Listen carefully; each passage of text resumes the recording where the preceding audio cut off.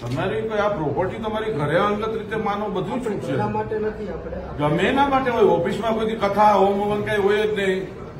તમે કઈ કથા ઓફર કઈ ઓફિસમાં થોડા કથા કે એવું હોમ હવન રાખી શકો આ તમારી જાગીર છે ભલામણ? આ કેટલું ખરાબ કહેવાય? આ પબ્લિક કઈ નહીં સાહેબ રામડિયા સાહેબ હું અત્યારે કાલે તો તમારો નહીં તમે એ કરો કે ન કરો એની કઈ વાંધો નથી, આ તો લાંબુ હશે, હું હાઈકોર્ટમાં જઈશ.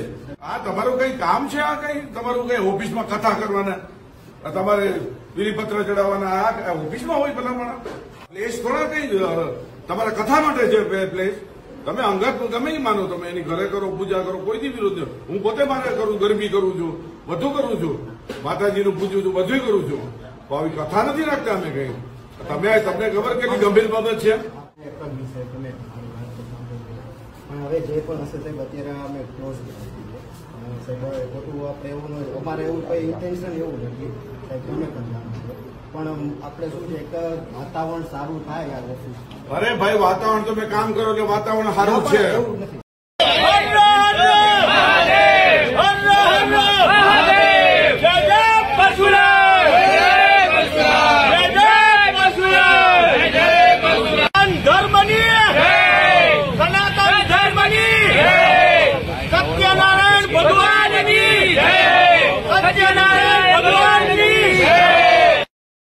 તેજસ ત્રિવેદી.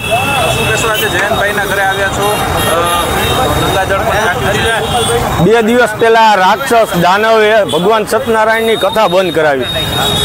આ માનવી તો આપણે એને કહી જ ન હતી દાનવ હતો એટલે સારંગપુરથી હનુમાન દાદાનું જળ મંગાવી આજે એના ઘરનું શુદ્ધિકરણ કર્યું. કારણ કે તે જ્યાં દાનવ રહેતા હોય એ અપવિત્ર જગ્યા હોય. આજે જગ્યા પવિત્ર કરી છે. આવતીકાલે જી કથા અધૂરી રહી ગઈ છે. કથાના અધ્યાય અધૂરા રહી ગયા છે. આવતીકાલે પાંચ વાગે જયંત પંડ્યાના નિવાસ સ્થાને ભગવાન સત્યનારાયણના કથાના જે અધૂરા અધ્યાય છે એની હાજરીમાં અધ્યાય સંપૂર્ણ કરવામાં આવશે. જયંત પંડ્યા પોતે પણ બ્રાહ્મણ છે અને આ રીતની કથા બંધ કરાવે કેટલું યોગ્ય છે? જયંત પંડ્યાને બ્રાહ્મણ કે હિન્દુ જ ન કહેવાય મારે આ મુજબ તો કારણ કે એ દાનવ કુળનો છે.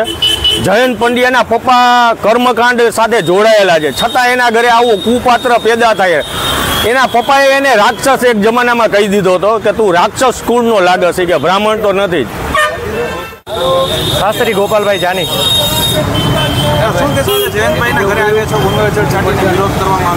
એક કે બે દિવસ પહેલાં એણે પારડી ગામની અંદરમાં વીજ કચેરીની અંદરમાં સત્યનારાયણ ભગવાનની કથાને બંધ કરાવી છે. એ કથા જે અધૂરી રહી છે એ પાપનો ભાગીદાર બન્યો છે અને એ અતિશયમાં અતિશય રાક્ષસી વૃત્તિનો માણસ છે. એટલે એની રાક્ષસી વૃત્તિ છે એ દૂર થાય અને સત્યનારાયણ ભગવાનની કથા છે એ પરિપૂર્ણ થાય. એ હેતુથી બ્રાહ્મણો ભેગા થઈ બધા કર્મકાંડી ભૂદેવો તેજસભાઈ ત્રિવેદી ભૂદેવ સેવા સમિતિ સહિત બધા ભેગા થયા છે. આ જગ્યાનું શુદ્ધિકરણ કર્યું છે કે આવી દુષ્ટ અહીંથી દૂર થાય અને આવતીકાલે સાંજે પાંચથી છ, સાડી ચૌદસના દિવસે ચૌદશીઓ અહીંથી દૂર થાય. ભગવાન એને સદબુદ્ધિ આપે અને અમારી સત્યનારાયણ ભગવાનની કથા છે પરિપૂર્ણ